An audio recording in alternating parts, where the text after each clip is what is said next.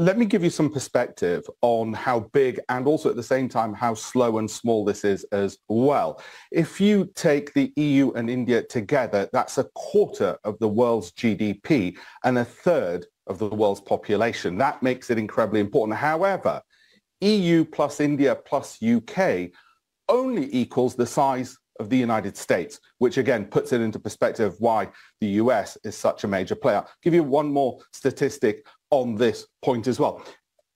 For India, this would mean GDP increase of about 1.3% if it went through. For the EU, 0.14%. You might think, well, surely it's not that important for the EU. Actually, it means about $20 billion for each economy. It's as much about security and EU foreign policy and tying up with another major democracy and being a counterbalance to China as it is about trade, growth and jobs.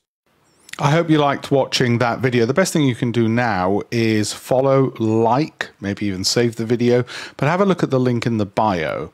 Have a look at alpeshpatel.com slash links for free investment books, education, uh, mentoring, uh, information about pensions, uh, information about why pensions are not growing as much as they should, what you can do about it, free educational course, a whole bunch of free resources to improve investments and pensions more broadly, wherever you are in the world.